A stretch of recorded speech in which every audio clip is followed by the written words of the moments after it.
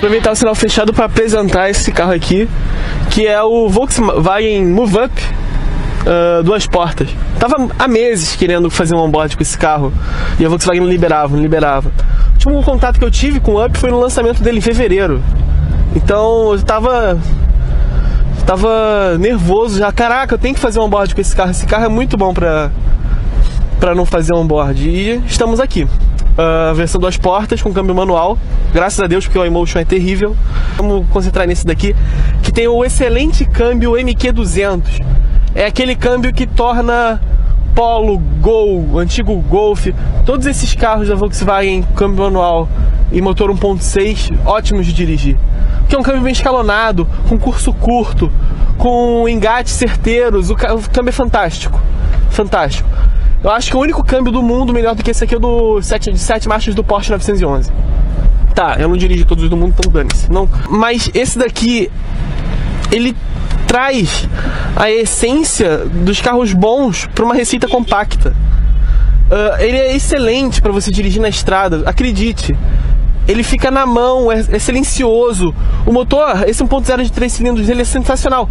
Ele é silencioso até em regimes altos. O isolamento acústico desse carro é muito melhor do que o do Fox. Isso é até um ponto particular, um ponto negativo que eu vou explicar depois. Uh, esse motor responde muito bem, ele não vacila. Você consegue esticar uma marcha, você consegue ter uma retomada em terceira numa situação que o 1.0 não teria. E é um, ele só tem 82 cavalos, 3 cilindros, de 333 centímetros cúbicos. É uma coisa assim sensacional. Ele é muito, ele responde muito mais fácil do que o K 1.0 muito mais fácil mesmo. O K1.0 ele tem uma tendência para detonação quando ele está fora de marcha. Ele é muito, muito, muito bom na marcha. É, chega a ser até um pouco mais vigoroso do que o Up. Só que o Up você consegue ter um certo conforto, você fica menos dependente do, do câmbio. E sem contar que ele é menos agressivo. Eu achei o K muito agressivo. Tá bom, era uma unidade que estava bem bem usada, né? Sem, tava com 10 mil quilômetros, estava já foi carro de pré-série, então foi usado, foi bem amaciado, né? Esse aqui tá com 4 e eu tô sentindo ele muito bom, muito gostosinho, muito, muito do jeito que eu gostaria que o meu carro fosse. E isso é um grande problema. Enfim, uh, é um câmbio com engates bem feitos, com a força bem bem presente. Eu subi serra com esse carro no, no último final de semana com ele e ele me respondeu muito bem. Em estrada, em retomadas, ele conseguia se igualar a Fiesta 1.6, uh, New Fiesta 1.6, Apollo 1.6. Então ele me surpreendeu muito, muito estável e muito econômico também. Fez 14,4 km por litro, com uma mistura bizarra entre álcool e gasolina que estava no tanque. Foi muito, muito bom. Agora ele tá com álcool e já tá marcando 10,5. Ontem com álcool, com gasolina, tava conseguindo fazer 14 uh, ah, na cidade. E isso também me surpreendeu muito positivamente. Uh, é um carro sólido de andar, é um carro. A suspensão dianteira é bem firme, chega a dar batidas secas em alguns buracos, mas a traseira é macia.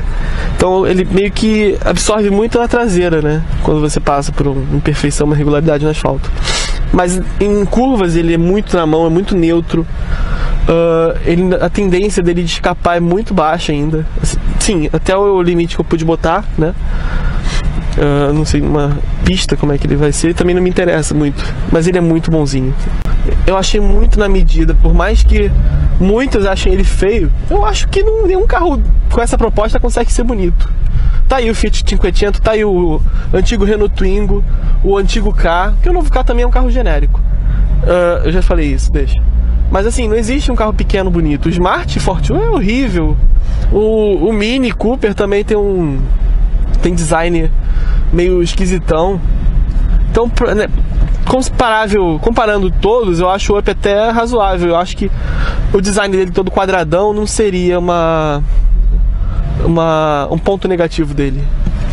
Agora, Uh, é bom ele ser quadrado, porque ele se vale daquela mesma característica do Fiat Uno, que é aproveitar ao máximo o espaço. Então, eu tenho espaço pra caramba aqui com outra pessoa e atrás também vão quatro vão duas pessoas a mais. Bem, relativamente bem. Uh, há espaço para perna bem justo assim, mas que dá pra você uh, matar uma, uma carona, assim, dá pra você dar uma carona, eventualmente. Achei bem, bem legal. Uh, a versão das portas, ela tem portas maiores, e isso chega a ser um inconveniente. O design eu acho que fica muito melhor, mas até isso acontece até você parar numa vaga, né? Tudo bem, vai sobrar vaga, vai sobrar lateral porque o carro é estreito mas você tem que abrir mais a porta, então você termina não aproveitando todo esse tamanho da porta. Você tem que sair por uma nesguinha, que você não consegue abrir toda a porta. Isso é chato, né? É como se você, como se você tivesse uma picape, uma Saveiro. Também tem portas grandes. Ou num Gol duas portas. Essa versão é a Move, Move Up, duas portas. Ela começa em coisas de 31 mil reais, 29 mil reais, não tô lembrado direito. Mas eu sei que essa versão aqui tem o. Tem rodas de liga leve Aro 14, tem o Maps and More, tem o rádio, tem os, os alto-falantes, que tudo isso é um módulo. A direção hidráulica também é opcional, o ar-condicionado também é opcional. E no fim das contas, com também o sensor de ré, dá 38.800 na tabela atual da linha 2014. É bem caro. Por esse preço você consegue comprar um K SE Plus, que é o que tem vidro elétrico traseiro e o Sync, se eu não estou enganado, sem controle de estabilidade de tração, que esse carro aqui não oferece. Isso é um ponto negativo também. Uh, e dá para comprar um Fox Blue Motion que usa esse mesmo motor aqui. Agora, o isolamento acústico desse carro aqui é melhor do que o do Fox, mas isso é um grande problema, porque esse motor aqui ele, no Fox ele faz um barulho tão gostosinho que lembra meio Porsche, seis cilindros. É uma coisa de louco. Eu lembro de dirigir ele na. Quando foi o lançamento do Fox, vocês viram, e eu fiquei extasiado. Agora, esse aqui, ó, vamos lá.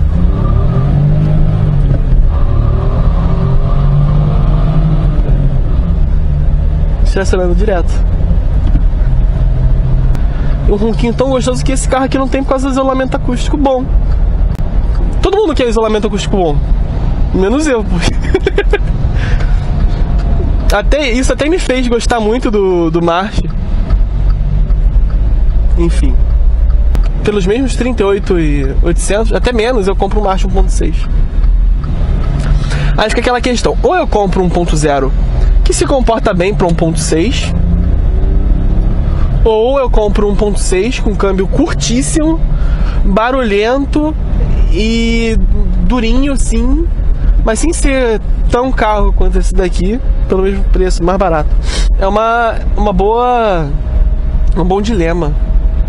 Bom, uh, em termos de mimos, uh, esse aqui tem regulagem de altura do volante, tem.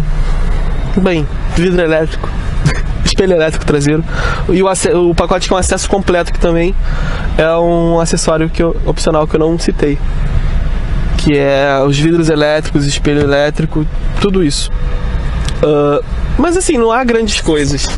O Maps More é legal porque ele tem o computador de bordo, tem o navegador, tem o Bluetooth, ele concentra tudo.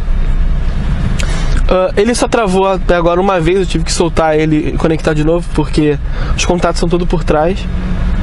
Mas eu tô gostando, eu achei ele bem rápido, menos o GPS. O GPS ele te manda acessar o, a saída da, da rodovia depois que você passou pela rodovia, bem lento assim, uh, na, na hora de computar onde ele está. Eu termino preferindo ficar com o meu GPS do celular, como quase sempre acontece.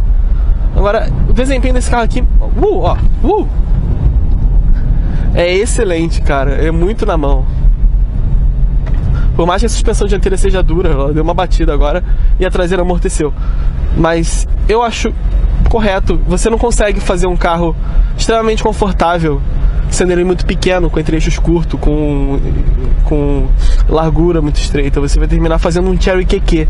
Uma das coisas mais instáveis, é mais instável do que a bolsa de valores da, da Nigéria. Se ela tiver uma bolsa de valores, mas não dá. Ele não, ele é sólido. Tudo tem seu preço, né? Mas ele chega a ser agradável no trânsito. nas, na estrada, assim. É um carro bem uh, utilitário, bem prático. Ele é a resposta para muitas perguntas. E eu realmente vou pensar no Up com mais carinho. Eu, mas eu vou ter que ganhar na Mega Sena para poder comprar um, porque é muito caro. Se você quiser comprar. Porque para você ter o, o, Bluetooth você depende do Maps More. Para você ter o Maps More você gasta R$ 2.200, porque você tem que comprar o rádio, os alto-falantes, preparação para som. É bizarro, é bizarro isso. Por que eles não vendem tudo num pacote só? A Volkswagen é que me, me faz ter dúvidas sobre como a indústria tra trabalha com economia em escala. Que ela consegue manter dois faróis pro Gol, pô. Consegue fazer cada coisa assim. Esse aqui é painel bege, o Take tem painel cinza. O Haig tem isso aqui pintado na cor da carroceria. Se a grande diferença entre, para mim, entre o Take e o Move é que eu posso ter isso aqui ou não, como opcional. O Take não tem como. Mas tem um rádio com USB, esse aqui só tem entrada auxiliar. Podia ser completo, né? Mas não é. Enfim, eu acho que isso aqui é tudo que eu tenho para falar do Up neste momento. Os detalhes vocês verão no link abaixo, na nossa avaliação do Novidades Automotivas. E eu espero que vocês gostem e que vocês tratem a tra passem a tratar o Up com menos preconceito. Ele não é um carro ruim. E cá entre nós ele é muito melhor do que o Gol. Muito carro é melhor do que o Gol. Mas esse daqui é uma escolha bem melhor. Você consegue viver com o Up e passar depois para um Fox. Você consegue esquecer totalmente que o Gol existe ele é muito melhor em termos de posição de dirigir. O banco é mais comprido, eu não falei disso. Esse, por mais que ele tenha esse, o encosto fixo, isso aqui tanto, tanto faz. Uh, é macio, gostoso. Ele te abraça bem, ele não te cansa na estrada. O Gol cansa. Eu tenho uma Saveira em casa, é o mesmo banco, a mesma posição de dirigir. Cansa. Não é tão ergonômica. Então eu acho que por isso já vale muito por muito, porque você passa o tempo todo no trânsito sentado aqui. Dependente de um uma boa ergonomia. Você está tudo aqui no seu alcance. Tá bom, tem um botãozinho ali, mas isso é como todo Volkswagen. Mas tem um câmbio bom, tem um motor 1.0 super econômico, que responde bem. Não parece 1.0, parece 1.4. E com um câmbio excelente, com ergonomia excelente, com desempenho excelente, com segurança, porque ele ganhou 5 estrelas no Late Cap, então não tenho, para mim, uma escolha melhor do que esse daqui. Agora tem que pagar o preço. E esse é o grande problema. É isso. Uh, até a, a próxima onboard. Até mais. Tô triste, eu não posso comprar um up, eu não tenho dinheiro para comprar um up.